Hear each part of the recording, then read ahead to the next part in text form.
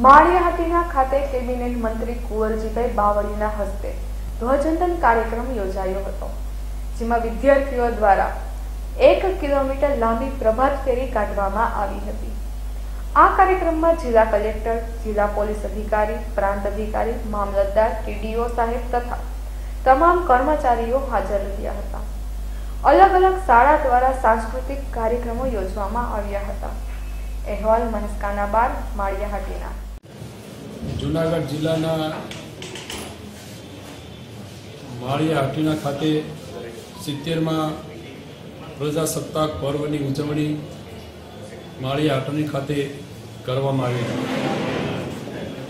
અહીંયા જિલ્લાના વહીવટીતંત્ર મારફતે ખૂબ વ્યવસ્થિત અને સારી રીતે આજની આ ઉજવણીના ભાગરૂપે વ્યવસ્થાની ગોઠવણી કરવામાં આવેલી. જિલ્લાના સૌ પદાધિકારીઓ, અધિકારીઓ સ્વાતંત્ર્ય સેનાનીઓ અને ખૂબ વિશાળ સંખ્યામાં આગેવાનોની ઉપસ્થિતિમાં વિદ્યાર્થીઓ અને જુદી જુદી શાળાઓના સૌ બાળકોએ જુદા જુદા, જુદી જુદી કૃતિઓ રજૂ કરવામાં આવેલી.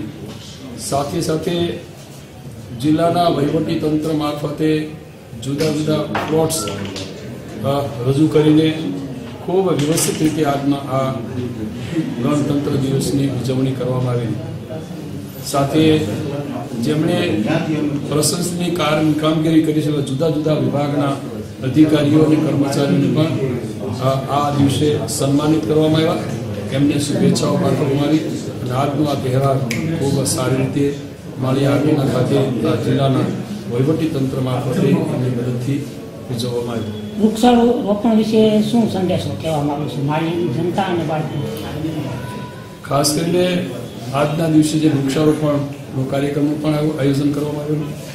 અને આગામી દિવસમાં હજુ પણ વિશેષ વૃક્ષો કપાય એનાથી પણ વિશેષ એની જાળવણી થાય જતન થાય વાવવામાં આવે વાવેતર કરવામાં આવે એની જાળવણી થાય માટેનું પણ અહીંથી આ આઈટીઆઈના મકાન અહીંના ખાતેથી સંદેશ લઈને.